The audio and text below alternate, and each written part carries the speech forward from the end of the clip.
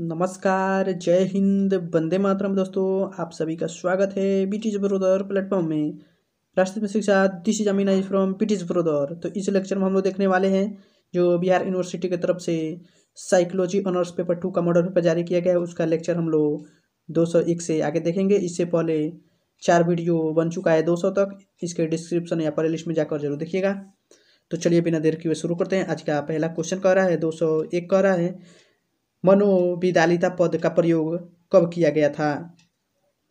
तो कब किया गया था? दो सौ एक का करेक्ट आंसर सी हो जाएगा। उन्नीस सौ ग्यारह में किया गया था। चलिए अगला क्वेश्चन दो सौ दो कह रहा है। उत्साह, विषाद, मनोविक्षिप्तता के कितने प्रकार हैं? दो, तीन, चार या पाँच? तो कितने प्रकार हैं? दो सौ दो का करेक्ट आंसर बी हो जाएगा। तीन प्रकार हैं। चलिए अगला क्वेश्चन दो सौ तीन कह रहा है। निम्नलिखित में से कौन उत्साह विषाद के सामान्य लक्षण नहीं है? मिथ्या निर्णय शक्ति या भ्रम तथा विभ्रम, या सी कह रहा है प्रत्यक्षीकरण की अयोग्यता या डी कह रहा है संवेगात्मक स्थिरता। तो कौन नहीं है? दो सौ तीन का करेक्ट आंसर ये हो जाएगा, मिथ्या निर्णय शक्ति जो है, नहीं है। चलिए अगला क्वेश्चन दो सौ चार कह रहा है। पेशियाँ, शुद्धता किस मनोविदालिता के प्रमुख लक्षण है?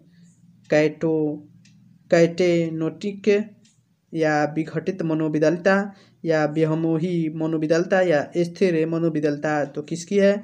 दो सौ चार का करेक्ट आंसर ए हो जाएगा, कैटेटोनिक मनोविदलता है। चलिए अगला क्वेश्चन दो सौ पाँच कर रहा है। अगर हमारे चैनल पर नए हैं तो सब्सक्राइब करें बेल आइकन को प्रेस करें जिससे आपको समय समय वीडियो मिलती रहेगी। लाइक कमेंट और शेयर ज़रूर करें तो चलिए दो सौ पाँच देखते हैं कह रहा है डी एस एम फोर में मनोविदालिता के मुख्य रूप से कितने प्रकार बताए गए हैं? दो, चार, पाँच या तीन?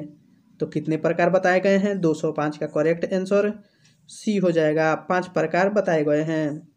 चलिए नेक्स्ट क्वेश्चन दो सौ छः कह रहा है। फ्लैट प्रभाव मनोविदालिता के कौन से लक्षण है? नकारात्मक, सकारात्मक, संज्ञानात्मक या सकर्मक? तो कौन सी लक्षण है? छः सौ छः का करेक्ट आंसर ए हो जाएगा, नकारात्मक यानी निगेटिव लक्षण है। संज्ञानात्मक विकास का सिद्धांत दोस्तों जिंग पियाजे ने किए थे।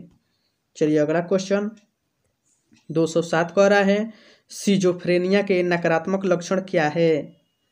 देखिए दोस्तों साइकोलॉजी जो है इसमें ऑप्शन आप लोगों का चारों लगेगा, सही है, लेकिन इसमें जो सबसे अच्छा सबसे सटीक आंसर रहता है, उसी को दिया जाता है। दो सौ सात कह रहा है सीजोफ्रेनिया के नकारात्मक लक्षण क्या है?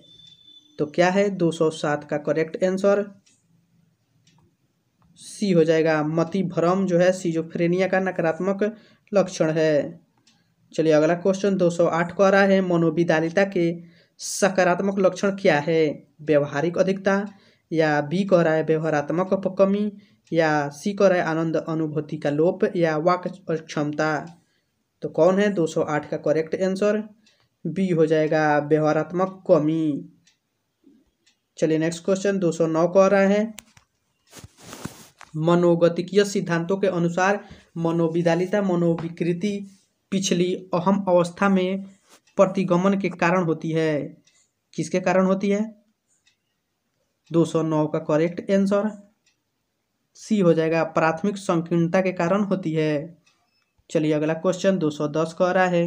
सीजोफ्रेनिया का एक उप प्रकार जिसे कैटेटोनिक सीजोफ्रेनिया के रूप में जाना जाता है, इसकी क्या विशेषता है? तो क्या विशेषता विशेषता होती है? 210 का आपका करेक्ट आंसर डी हो जाएगा। चल रहे नकारात्मक लक्षणों के प्रमाण के साथ प्रमुख सकारात्मक लक्षणों की कमी हो जाती है। चलिए अगला क्वेश्चन दो सौ ग्यारह कह रहा है सीजोफ्रेनिया में जब किसी व्यक्ति द्वारा अवस्थित भाषण दिया जाता है तो उसे क्लैंगिंग कहा जाता है, जिसका अर्थ है तो इसका अर्थ जो होता है, दो सौ ग्यारह का आपका करेक्ट आंसर दोस्तों। डी हो जाएगा, व्यक्ति व्यक्ति केवल तुकबंदी वाले शब्दों के साथ संवाद करते हैं। चलिए नेक्स्ट क्वेश्चन दो सौ बारह कह रहा है, तनाव और हानि का संबंध से है तो किसे सम, सम, सम, हानि का संबंध है? सॉरी दोस्तों तनाव और हानि का। तो 212 का आपका करेक्ट आंसर सी हो जाएगा। ए और बी दोनों से सामान्यता एवं असामान्यता से है। चलिए अगला क्वेश्चन दो सौ तेरह का रहा है। मनोवैज्ञानिक शिथिलता में शामिल है। संज्ञानात्मक हानि भावनात्मक नुकसान या व्यवहारात्मक या उपरोक्त में से सभी। तो क्या शामिल है? दो सौ तेरह का करेक्ट आंसर डी हो जाएगा। उपरोक्त में से सभी है। चलिए अगला क्वेश्चन दो सौ चौदह का रहा है मति भ्रम हिस्सा है। तो मति भ्रम किसका हिस्सा है? देखिए दोस्तों, दो सौ चौदह का करेक्ट आंसर डी हो जाएगा। मनोवैज्ञानिक रोग का, भावनात्मक शिथिलता का एवं आदत विकृति का तीनों का है।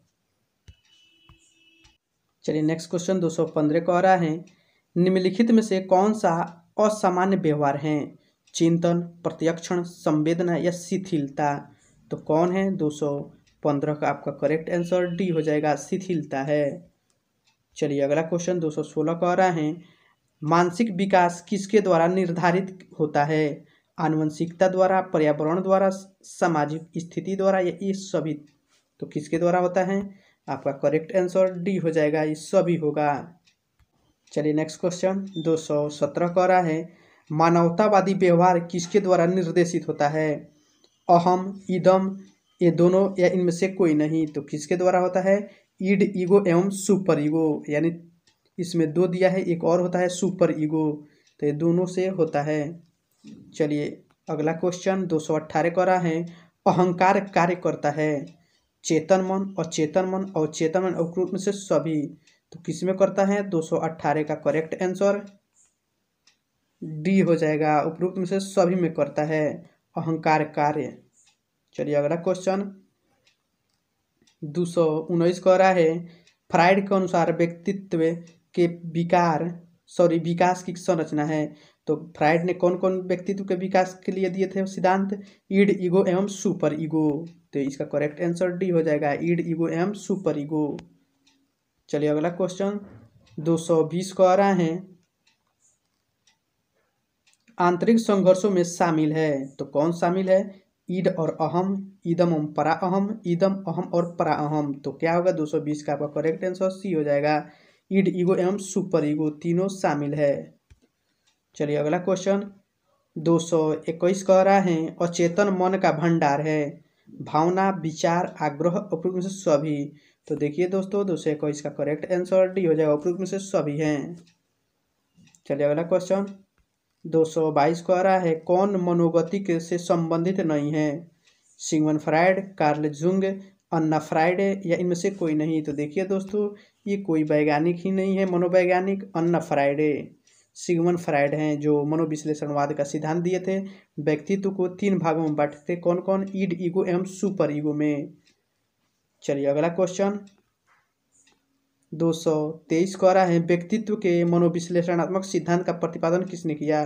तो किसने किए थे? देखिए दोस्तों, इसका करेक्ट आंसर डी हो जाएगा। सिगमंड फ्राइड ने किए थे। यानी मनोविश्लेषणवाद सिद्धांत का प्रतिपादन सिगमंड फ्राइड, ईड, ईगो एवं सुपर ईगो में व्यक्तित्व को तीन भागों में बांटे थे और सिगमंड फ्राइड ने पागलों पर अध्ययन किए थे। चलिए अगला क्वेश्चन दो सौ चौबीस को आ रहा है। अहंकार का घटक है। मस्तिष्क शरीर, व्यक्तित्व उपयुक्त से सभी। तो कौन है? इसका करेक्ट आंसर डी हो जाएगा। उपयुक्त में से सभी हैं। चलिए अगला क्वेश्चन 225 कह रहा है। सामान्य व्यक्तित्व के लिए कौन से तीन बल आवश्यक हैं? तो कौन तीन बल आवश्यक हैं? 225 का करेक्ट आंसर डी हो जाएगा। ईड ईगो एवं सुपर ईगो ईदम अहम और परा अहम चलिए अगला क्वेश्चन 226 कह रहा है। निम्नलिखित में से कौन अहम से संबंधित नहीं है? यानी ईगो। अहम मतलब ईगो से संबंधित नहीं है। तो कौन संबंधित नहीं है? देखिए दोस्तों, इसमें जो है उपरोक्त में से कोई सभी जो है संबंध नहीं है, क्योंकि ईदम और परा अहम जिसे ईड और सुपर ईगो के मध्य जो संतुलन का काम करता है, वह है ईगो, यानी अहम। तो इसका करेक्ट आंसर डी हो जाएगा। चलिए अगला क्वेश्चन दो सौ सत्ताईस कह रहा है ईदम व्यक्तित्व का डैश हिस्सा है अचेतन चेतन चेतन और चेतन अप्रूव में से सभी। तो कौन है ईदम ईदम यानी ईड तो दो सौ सत्ताईस का आपका करेक्ट आंसर ए हो जाएगा, अचेतन मन से है। यानी ईदम को अचेतन मन भी कहते हैं। चलिए अगला क्वेश्चन दो सौ अट्ठाईस कह रहा है परा अहम प्रतिनिधित्व करता है। समाज का मापदंड का, परिवार का मापदंड का, व्यक्तित्व का मापदंड का या सभी तो किसका करता है? दो सौ अट्ठाईस का करेक्ट आंसर डी हो जाएगा। ये सभी का करता है।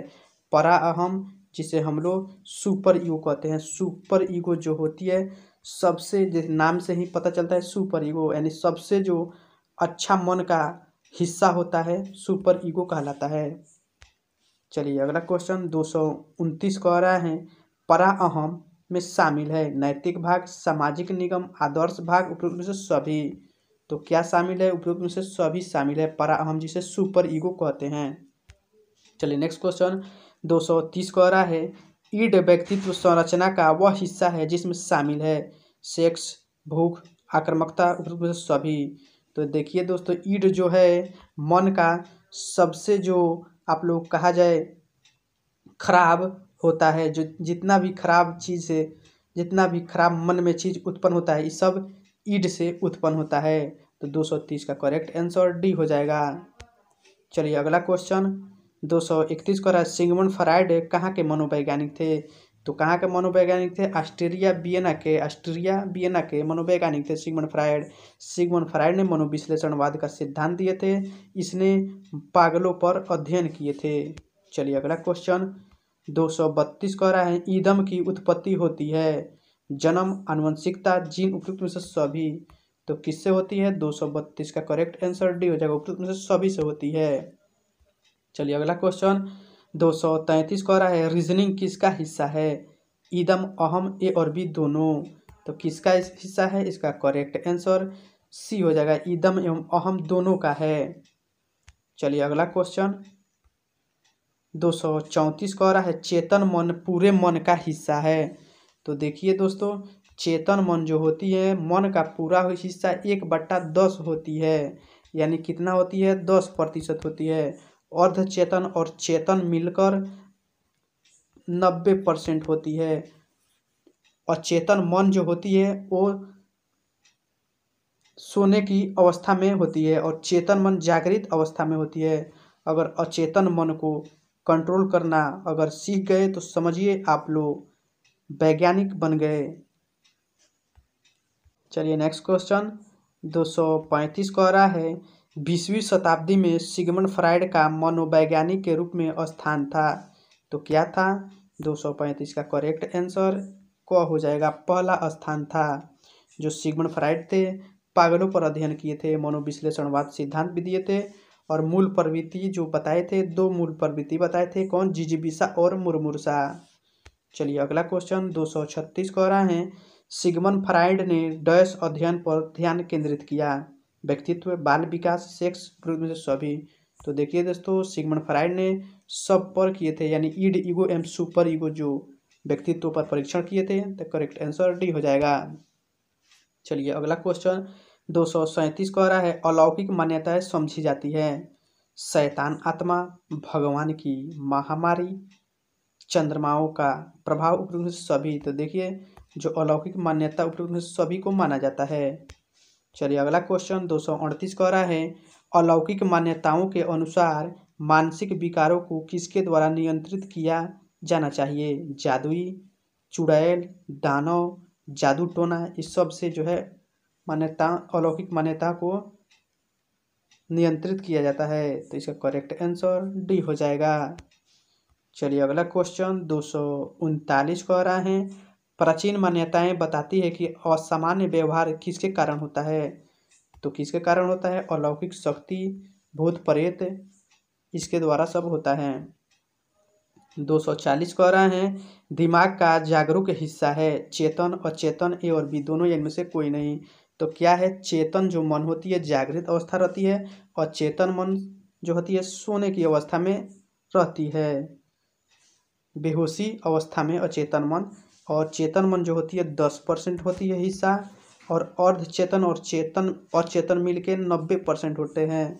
देखिए दोस्तों, अगर अचेतन मन का प्रयोग करना ठीक से अगर कोई व्यक्ति सीख गया तो समझिए वह भगवान महावीर, बुद्ध बहुत बड़ा वैज्ञानिक आइंस्टीन ये सब बन जाएगा। चलिए अगला क्वेश्चन दो सौ इकतालीस कह रहा है। सिगमन फ्राइड के अनुसार सपने हैं। नींद के संरक्षक, नींद का बेटा, नींद की बेटी, या सभी तो क्या है? इसका करेक्ट आंसर को हो जाएगा, नींद का संरक्षक है। चलिए अगला क्वेश्चन दो सौ बयालीस कह रहा है। मानसिक रूप से अस्वस्थ अथवा संवेगात्मक विकृति से पीड़ित रोगियों की चिकित्सा हेतु जिस प्रविधि का उपयोग किया जाता है, उसे कहते हैं तो क्या कहते हैं? दो सौ बयालीस का करेक्ट आंसर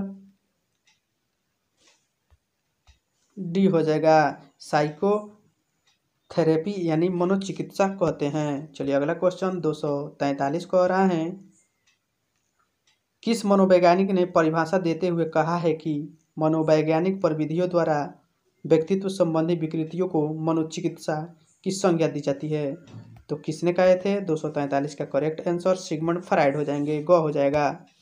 चलिए अगला क्वेश्चन दो सौ चौवालीस का है, मनोचिकित्सा द्वारा किस रोग से पीड़ित रोगियों का उपचार किया जाता है?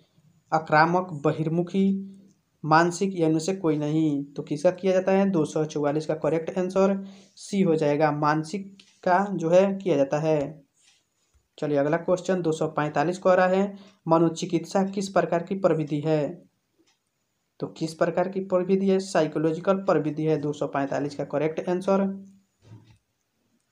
डी हो जाएगा सॉरी डी हो जाएगा मनोवैज्ञानिक। चलिए अगला क्वेश्चन दो सौ छियालीस को आ रहा है। मनोविश्लेषण, आत्मक शिक्षा के जन्मदाता है, यानी मनोविश्लेषणवाद का सिद्धांत किसने दिए थे? सिगमंड फ्राइड ने ईड ईगो एवं सुपर ईगो का व्यक्तित्व में परीक्षण किए थे। चलिए अगला क्वेश्चन दो सौ सैंतालीस कह रहा है। मानसिक रोगियों के पुनर्वासन का उद्देश्य होता है रोगी की देखभाल करना, रोगी को घर देना, रोगी को सशक्त बनाना, इनमें से कोई नहीं। तो क्या करना होता है? दो सौ सैंतालीस का करेक्ट आंसर कब हो जाएगा। रोगी की देखभाल करना होता है। देखिए दोस्तों, अगर हमारे चैनल पर नए हैं तो सब्सक्राइब करें, बेल आइकन को प्रेस करें, जिससे आपको समय समय पर वीडियो मिलती रहेगी। लाइक, कमेंट और शेयर ज़रूर करें। तो दो सौ अड़तालीस का रहा है आधुनिक चिकित्सा शस्त्र। का जनक किसे माना जाता है? यानी आधुनिक चिकित्सा शास्त्र का जनक किसे माना जाता है? हिपोक्रेटियस को दो सौ अड़तालीस का करेक्ट आंसर को हो जाएगा? हिपोक्रेटियस चलिए अगला क्वेश्चन दो सौ उनचास कह रहे हैं। व्यवहार चिकित्सा किस सिद्धांत पर आधारित है? अधिगम सिद्धांत, अभिप्रेरणा सिद्धांत, प्रेक्षण सिद्धांत या बी स्मरण सिद्धांत? तो किस पर आधारित है? दो सौ उनचास का करेक्ट आंसर डी हो जाएगा। बी स्मरण सिद्धांत पर आधारित है। चलिए नेक्स्ट क्वेश्चन दो सौ पचास कह रहा है। विश्व मानसिक स्वास्थ्य दिवस कब मनाया जाता है? तो कब मनाया जाता है? देखिए दोस्तों, इसमें आंसर नहीं दिया है। कब मनाया जाता है? दस अक्टूबर को मनाया जाता है। कब कब से मनाया जाता है? दस अक्टूबर उन्नीस सौ बानवे से। तो कैसा लगे वीडियो? लाइक कीजिए कमेंट कीजिए शेयर कीजिए। तो मिलते हैं नेक्स्ट वीडियो में। तब तक के लिए धन्यवाद। जय हिंद, वंदे मातरम दोस्तों।